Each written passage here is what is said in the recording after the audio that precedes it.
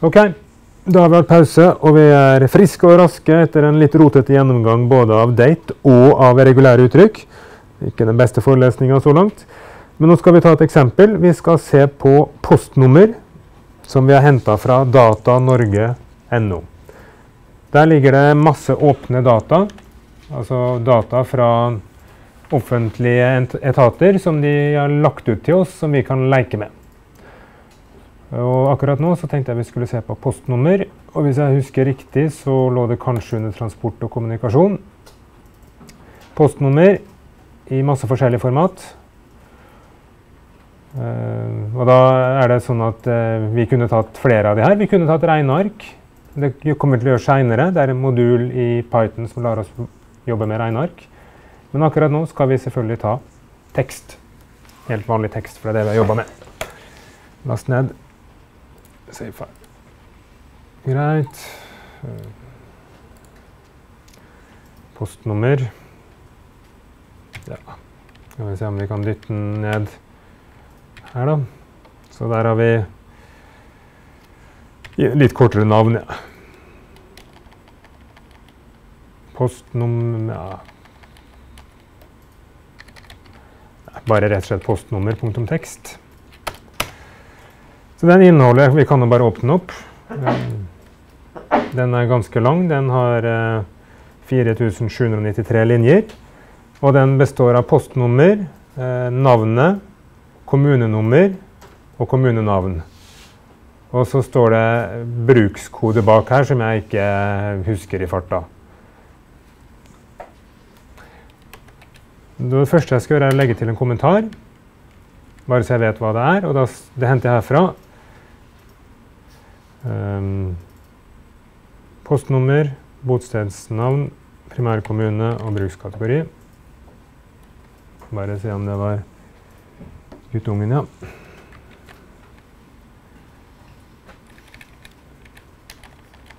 Det er alltid greit å dokumentere formatet. Primærkommune og brukskategori. Så skal jeg sette øh, kommune nummer og navn. Så da skjønner vi hva det er bortover her. Og de her er tab-separert. Ja. Greit. Og så for moro skyld så skal jeg hive med en kommentar her, hvor jeg skriver eh, mitt postnummer. Det er jo ikke det, da, men ikke sant? Bare for å så da skjønner dere formatet at du kan ha frie kommentarlinjer. En kommentar. Så er linje som starter med kommentartegn. Det er en hel linje som skal kommenteres ut. Og så kan du ha kommentarer etter dataene. Akkurat sånn som du kan ha i din egen Python-kode.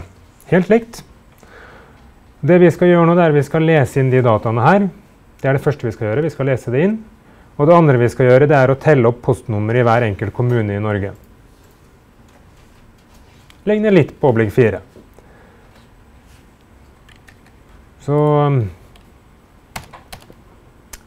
Ja. File. Open.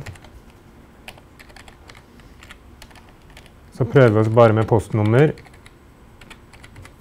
Så er det mulig vi får noen problemer med tegnkoding og sånn. Jeg vet ikke om den der koden som uh, noe spesielt, men det ser vi nå etter hvert. Så det er en, Som vanlig så er det der en filpeker eller et filobjekt som vi kan iterere over. Så for line in file så gjør vi et eller annet. Og da vet vi jo at det vi har, det kan vi nå hente herfra. Ta med den linja tilbake hit bare så jeg har det dokumentert dataformat, postnummer, bla, bla, bla. Så det betyr at vi gjør sånn som sist, um, at vi har ja, postnummer uh, Hva skal vi se? Det ble mye en postnavn.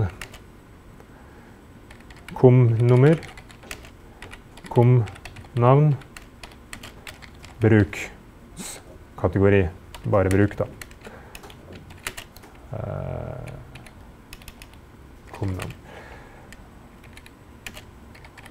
Line og split på hva? Jo, på en tab. Hvis vi ikke hadde visst hvordan tegnet var skilt på, så kunne vi brukt regulære uttrykk allerede her. Hvis dere så nøye på lista over funksjoner, så var det en splittfunksjon eh, for regulære uttrykk òg. Hvor du kunne valgt å splitte på hva som helst av whitespace. Men nå vet vi at det er en tab. Ja. Um.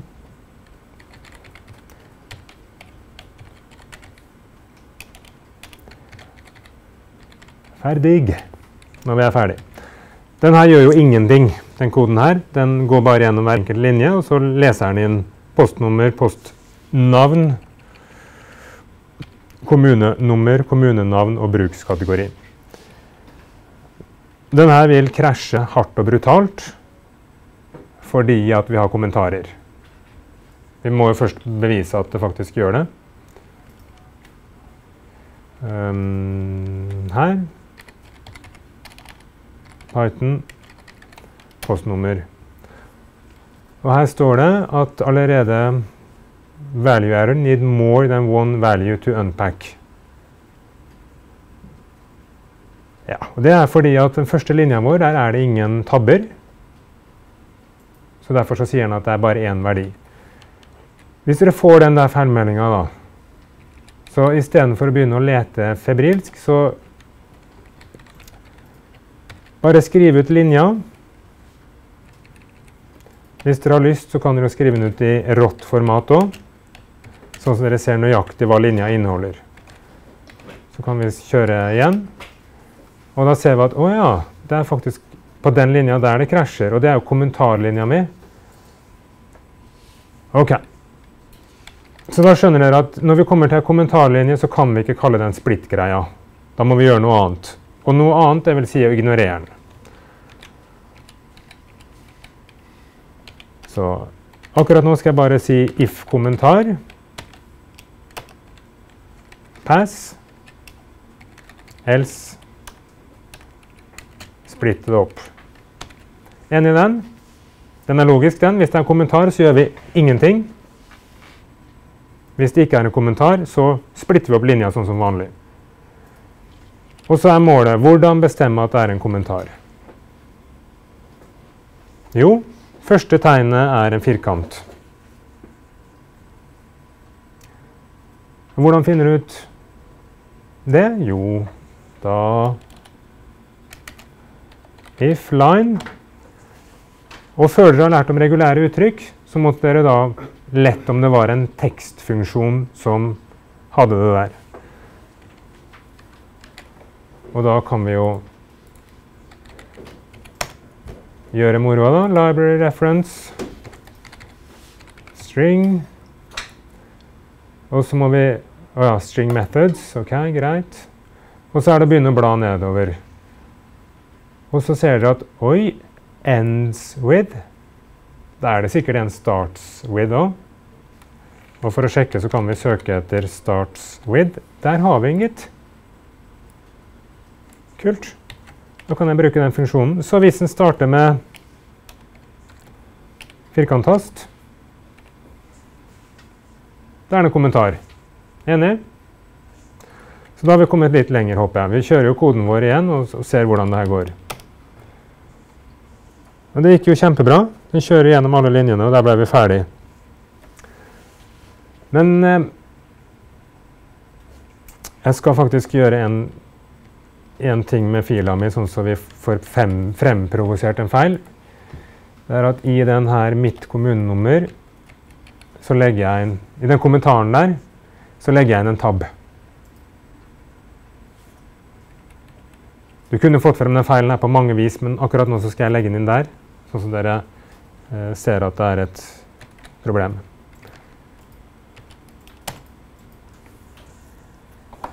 Og Da ser vi at vi kommer helt til den her med mitt postnummer, og der ble det for mange verdier for å pakke ut.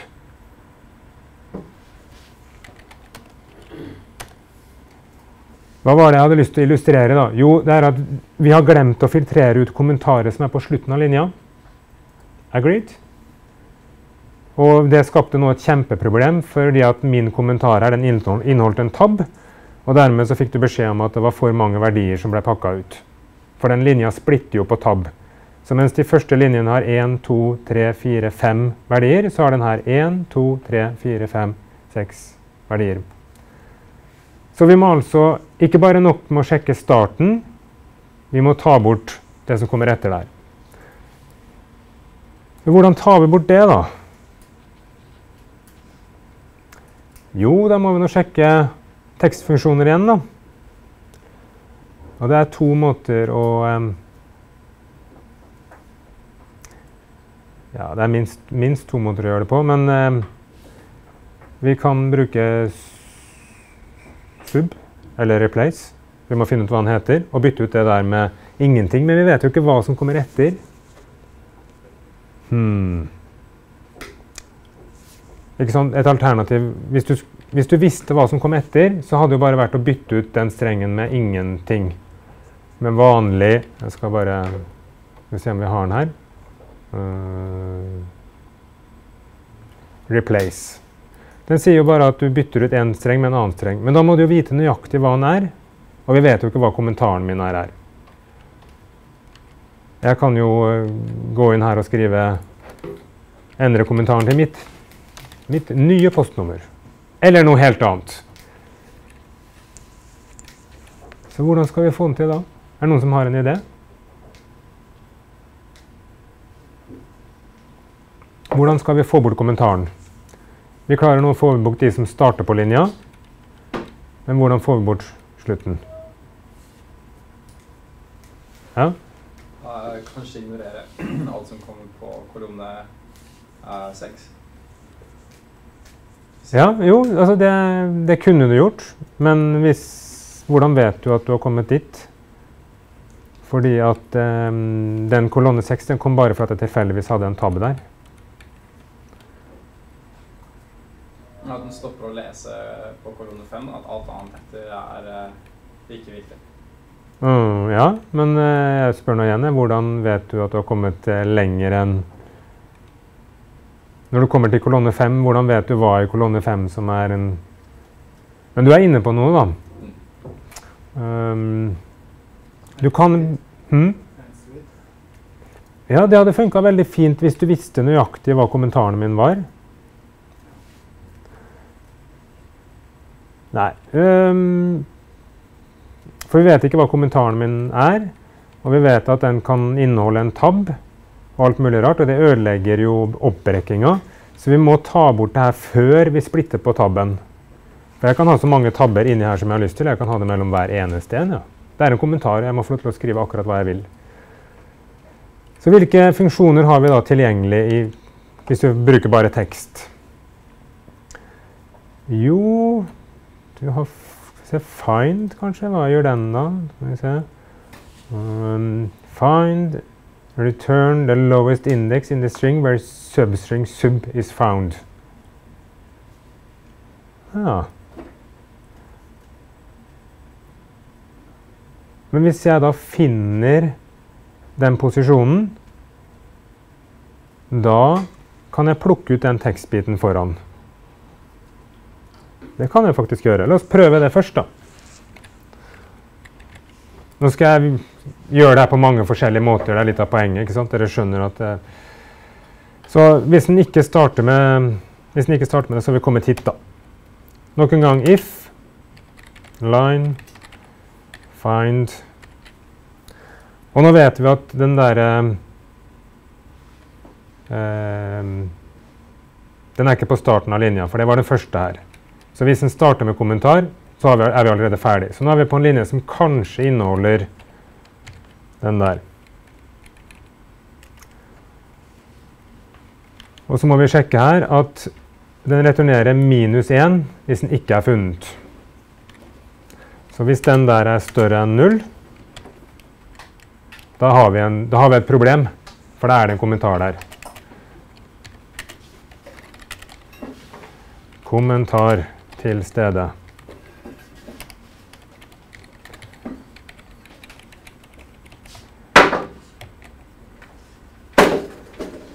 Ja, så hva gjør vi da? Ja, forresten, så den der linje 12 der, den er vanligvis skrevet sånn som det her. At du sier if kommentar inline. altså den bare finnes der. Du bryr deg ikke om hvor den er, da. Hvis den er der, så skal vi finne posisjonen. Og da kan vi bruke den der eh, line find. Sånn, og så henter vi ut um, Setter vi nok en gang line er lik line Da kan vi ha substringen, eller vi kan um, Ops, går det bra bak der? Ja, ja, ja.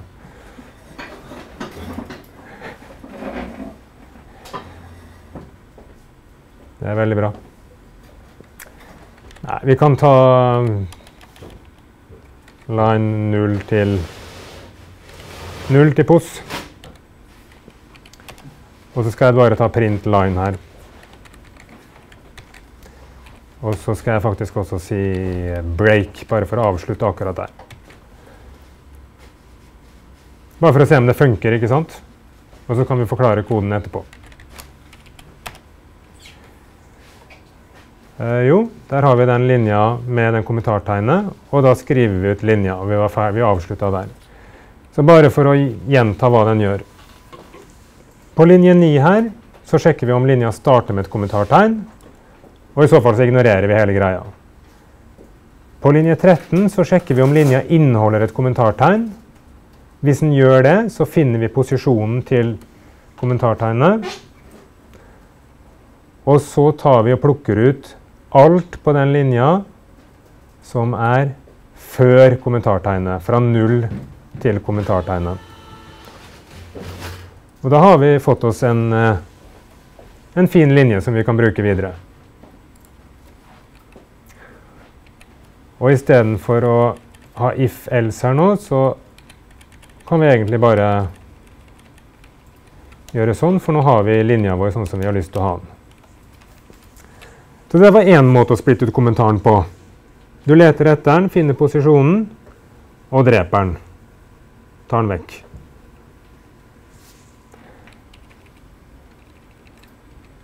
En annen metode som gjør at du slipper å sjekke så mye Jeg skal ta og klippe ut denne koden og bare dytte den nederst her. Det er å si at den er der hele tida. Så du sier parts er line split på kommentartegnet. Den er jo litt fiffig.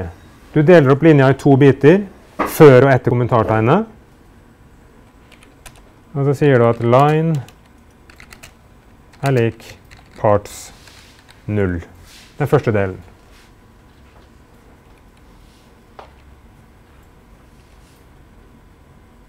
Det også funker. Vi må jo sjekke, da, forresten.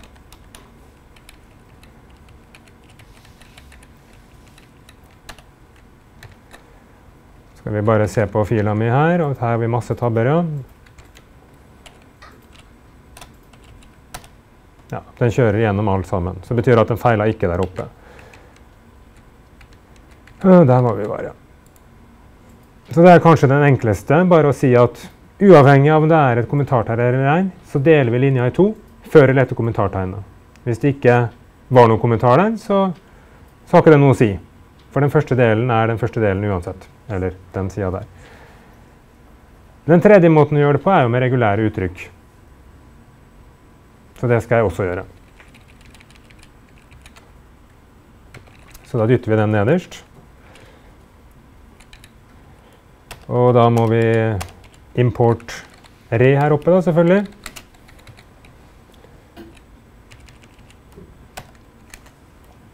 Og da tror jeg kanskje at eh, siden regulære uttrykk det er litt sånn tungt å bruke, så da tar jeg den her og sjekker om den finnes på linja.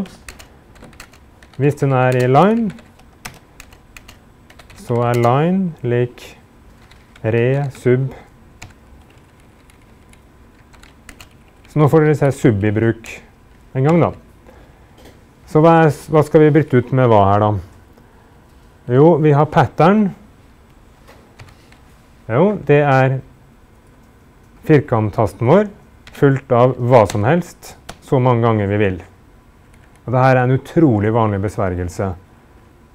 Punktummet betyr hva som helst, og stjerne betyr null eller flere ganger. Så nå matcher jeg altså fra kommentartegnet til slutten av linja. Hva skal jeg bytte det ut med? Nada. Og hva gjør jeg det på? Jeg gjør det på line. Og så kan jeg ta luft der, bare for at det skal bli tydelig for dere. Så hvis linja inneholder en kommentartegn, så tar jeg bytter vekk alt det som er etter kommentaren. Så må vi jo nok en gang eh, sjekke at det her funker.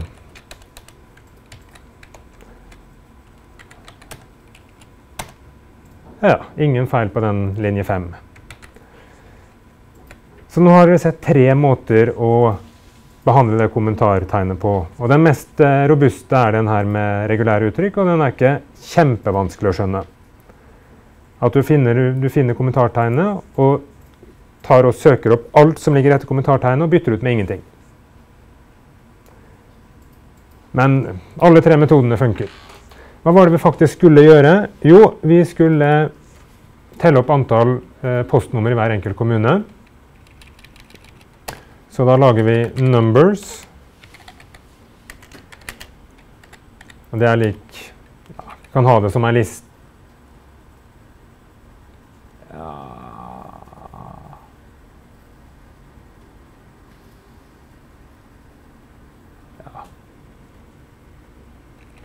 Jo da, vi kan godt ha det som ei liste.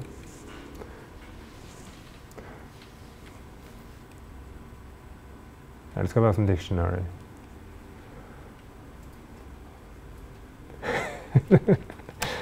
Hva er best, da? Jeg lurer på om vi skal ha det som en dictionary. Ja. Og Grunnen til det er at etterpå så skal vi finne ut, kunne gå inn på en spesifikk kommune og hente ut hvor mange postnummer det er. Og da er det lettere å eh, gjøre det med en dictionary eller noe annet. Så numbers og um, hva er det vi har henta inn nå? Det var kommunenavn.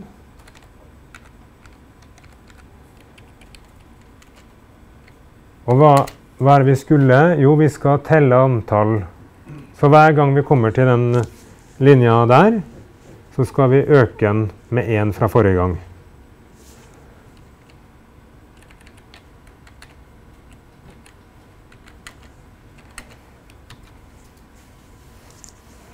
Skal vi stoppe et lite øyeblikk, da. Så vi leser altså inn et postnummer, et postnavn, et kommunenummer for primærkommunen altså, og et kommunenavn.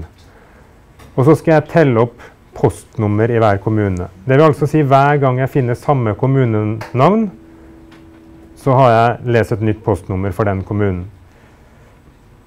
Så hvis jeg da har hvor mange jeg hadde fra før Hvis jeg hadde 13 i stad, og så fant jeg en ny en i samme kommune, så øker jeg med én. Så ideen er veldig enkel. Men jeg antar at dette kommer til å feile. For det står 'Key Error Oslo'. Og det er fordi vi har ikke brukt Oslo før. Husker dere en dictionary hvis du ikke har satt den? Så hvordan får vi det til da? Jo, da må vi bruke get. Så numbers get og default-verdien hvis, hvis kommunen ikke er funnet før, da. Hvis det er første gang vi ser en kommune, hvor mange postnummer er det i kommunen da? Hvis det er første gang vi ser et kommunenummer, da er det null. Da har vi ikke sett noen postnummer for den kommunen før.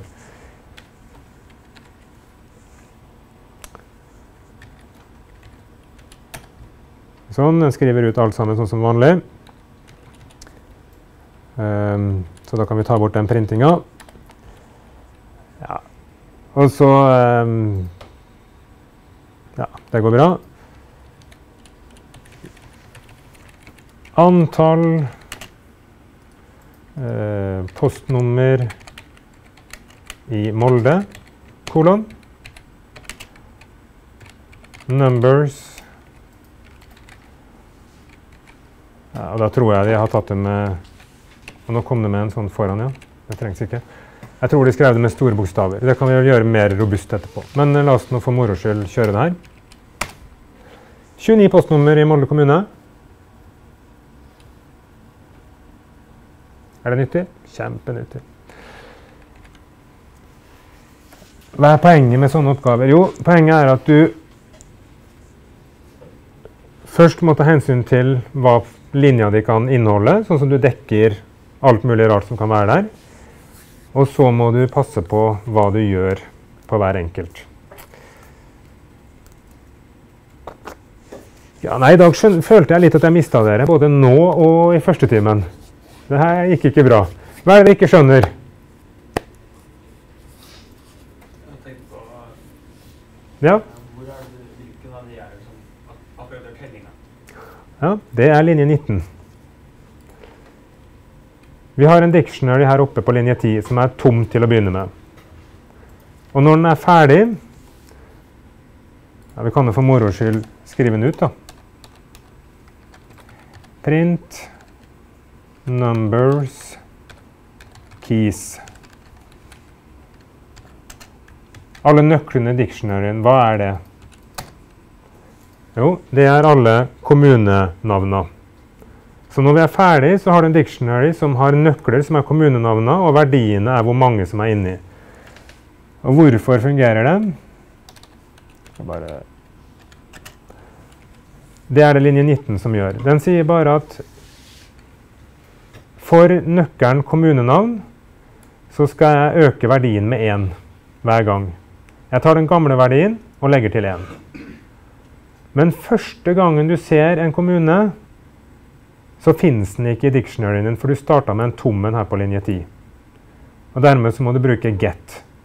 Så aller første gang du ser et kommunenavn, så får du verdien 0. Neste gang så henter den ut det den hadde sist. Så for moro skyld, da If Jeg trenger ikke parenteser. If kommunenavn er lik Molde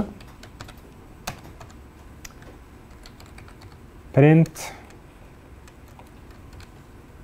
Ja, skal vi ta postnummer komma hvor mange vi har funnet så langt. Ja, vi kan ta postnavn nå, for den saks skyld. Jeg håper jeg har nok plass på skjermen min til å vise mesteparten. Skal vi se. Ja, det var ikke så langt unna. Så første gangen den finner, det er 6401. Og da, set, da, har vi, da har vi telt opp 1. Neste gang vi finner den, så er det 1 pluss 1. Neste gang så er det 2 pluss 1, som er 3.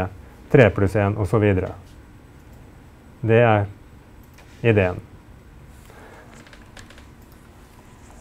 Og det her krever én eneste ting fra deres side øvelse. Det er bare øvelse som fungerer. Det er å ta sånne filer som det her, sette dere ned og si at dere har lyst til å gjøre et eller annet med dem. Det er ikke noe sånn her at dere må memorere hvordan gjør du det her.